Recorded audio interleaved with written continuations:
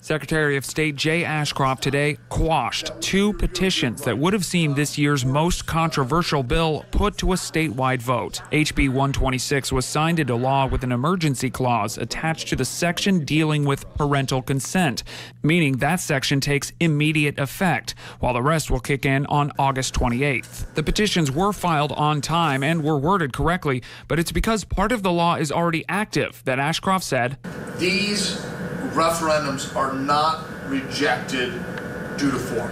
These are rejected because they fail to meet the constitutional requirements. requirements that say referendums can be ordered unless the law is, quote, necessary for the immediate preservation of the public peace, health, or safety. We needed to make sure that, since it was our responsibility, we could truthfully say that it was not done due to political input. It was due to what the law, the, con- the constitutional laws pursuant to it required. Pro choice advocates say they're not buying it. For us, this is an obvious attempt to silence the will of Missourians.